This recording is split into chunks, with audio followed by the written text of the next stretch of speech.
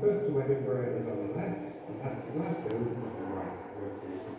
Meanwhile, at the other end of the tunnel we have Kirk Power What was the latest thing